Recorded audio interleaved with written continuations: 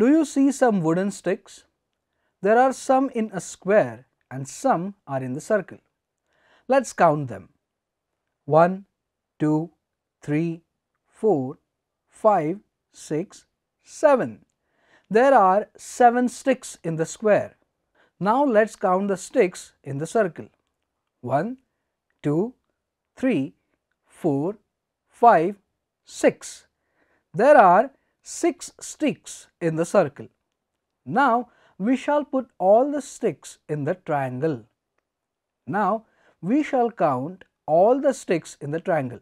1, 2, 3, 4, 5, 6, 7, 8, 9, 10, 11, 12, 13. Right.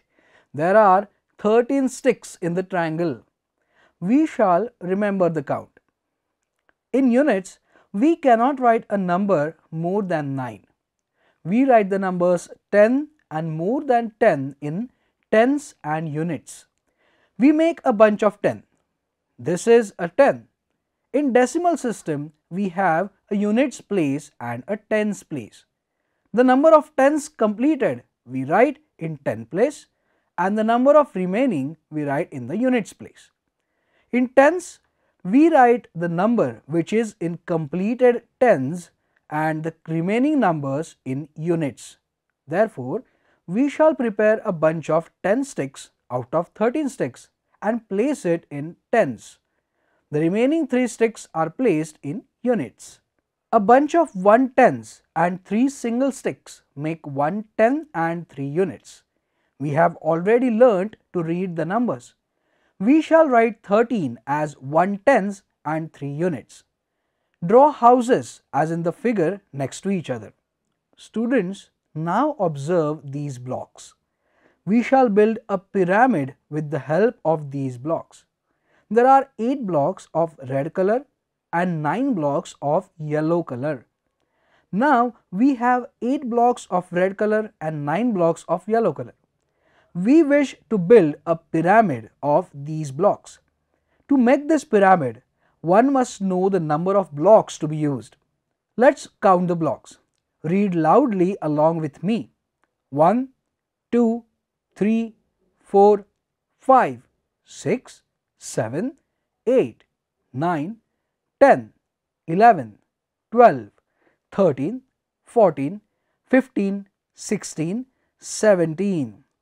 8 of red color and 9 of yellow color. Right, there are 17 blocks in total, but again we shall separate 10 blocks out of it. Now the total blocks are 10 that is 10 units making 1 tens and remaining make 1 tens and 7 units. See, we have made a pyramid. Up till now, we have studied the additions of units. Some additions were less than 10. For such additions, we have prepared a table.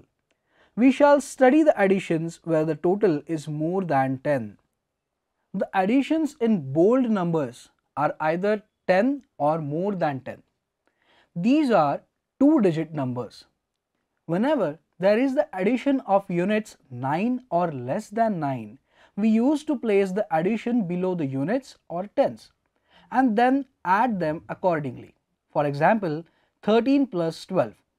In the given picture, 1 tens and 3 units and 1 tens and 2 units.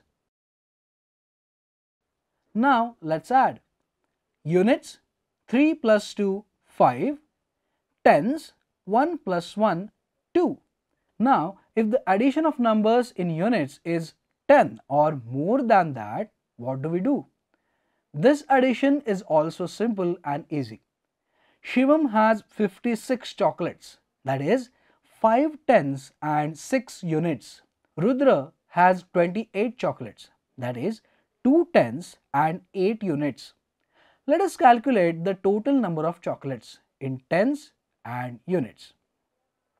In units, we have 6 plus 8 that is 14 and in tens we have 5 plus 2. But it is not to be written like this. The, the 110 from the 14 is to be put in tens. there cannot be any number more than 9 in units. The 10 which is in units has to be shifted to tens. So, new tens is made and it is called as carrying over.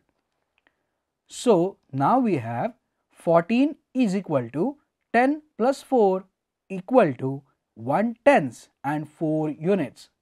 So, now we have 5 plus 2 plus 1 is equal to 8 tens. Shivam and Rudra have a total of 8 tens and 4 units of chocolates. Now, we know that if the addition of units is 10 or more than 10, then it is to be put aside so it becomes 1 tens and then it is to be added 2 tens which is called as carrying over. Mother has purchased a notebook worth 27 rupees and a book worth 38 rupees. How much should the mother pay to the shopkeeper? Now 27 rupees is 2 tens and 7 units. 38 rupees is 3 tens and 8 units. We shall add 7 units and 8 units. Let's add units first. By counting 7 after 8 on fingers, 8, 9, 10, 11, 12, 13, 14 and 15. So, 7 units and 8 units when added together make 15 that is 1 tens and 5 units. Now this 1 ten has to be included in the addition. So we make a new row above the tens and write 1 in it and then we add the tens. The carried over 1 will be placed in tens. Now, when we add the tens, we have 1 plus 2 plus 3 is equal to 6. So, the shopkeeper should be paid 65 rupees that is 6 tens and 5 units. We shall also use currency note and coins for addition. For example, how much is 25 rupees plus 47 rupees? 2 notes of 10 and 5 coins of 1, 4 notes of 10 and 7 coins of 1, 5 and 7, 12 coins, that is 1 tens and 2 units. So, use 1 note of 10 rupees for 10 coins. Count the currency notes of tens. So, now we need 2 plus 4 plus 1 equal to 7.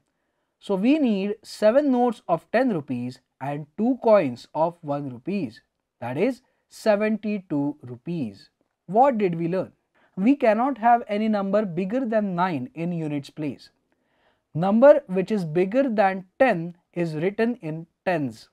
If the addition of units is more than 10 then make 1 10 out of it. While adding one more tens is made and called as carrying over. Exercise. We have two sets of garlands and flowers. The first set has 5 garlands and 4 flowers and in the second set we have 3 garlands and 9 flowers. So can you tell the total number of flowers? How many garlands can be made and how many flowers will remain? How many rupees in total? When you have 8 currency notes of 10, 8 coins of 1 rupee and 3 currency notes of 10 and 7 coins of 1 rupee. State the number of currency notes of 10 rupees and coins of 1 rupee. Add the following 75 plus 29, 88 plus 16, 83 plus 8, 49 plus 44.